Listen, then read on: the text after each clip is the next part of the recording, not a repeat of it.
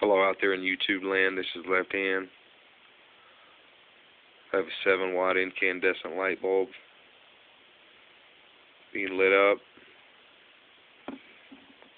Power input is coming into that capacitor right here.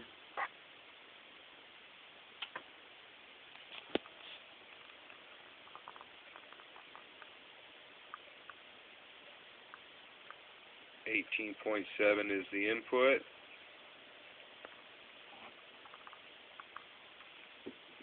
What is it inputting? That's a good question. Because it is inputting this.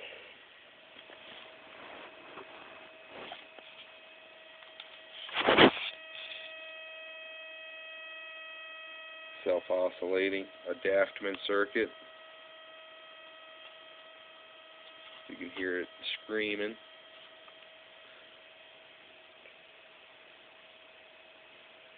Tip 31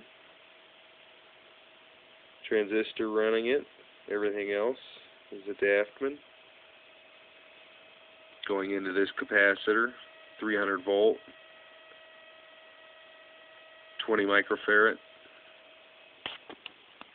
It's coming out and going into this. Just lighting that up. And the capacitor has a voltage of 134.2 volts. And it is making that when I did this thing before with this capacitor I had it filled up to 313 volts just by itself before it but then when you put the load on it it drops it. So there we go that's self-oscillation from a Daftman circuit, just with off this just one coil. Nothing special, just self-oscillation. You don't even need magnets. Self-oscillate. Things in a nice little portable to go DeWalt box, which I'll paint. And then you can take it anywhere. Nice and sturdy. Got a light there. Good to go. So, okay.